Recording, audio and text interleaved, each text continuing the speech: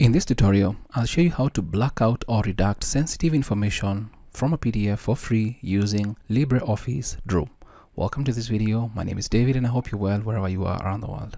Now, I've got a PDF with me here and let's assume it has some sensitive information, maybe an address, an email address, or maybe a name of a person or whatever it could be.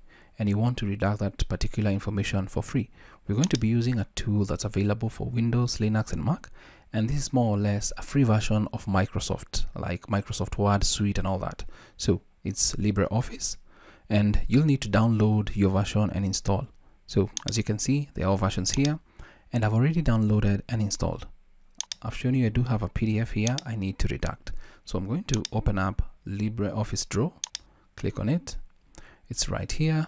It's uh, just a simple basic interface more or less looks like a Word uh, kind of page I'm going to go to file open my document select it and then open.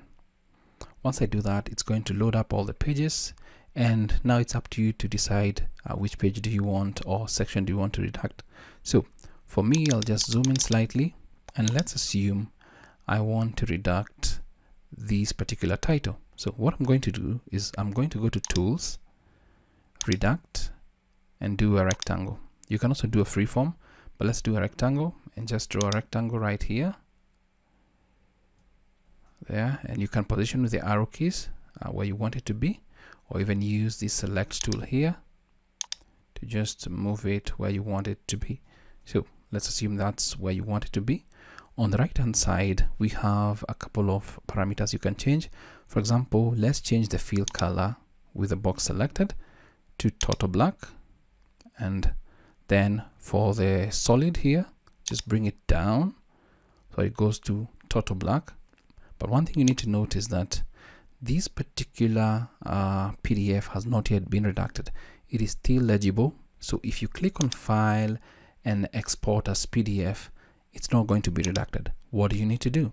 You need to go back to tools redact export redacted PDF either white uh, redacted PDF and also you can export PDF preview but I want to export redacted PDF black.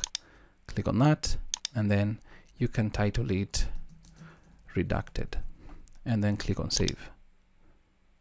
So uh, this is the original and we can actually now open up uh, file open and then open the redacted one it's right here. Here it is. Well inside LibreOffice Draw you can move the pages like that and all that but you cannot make that particular selection. And I'll actually display that uh, using uh, PDF gear.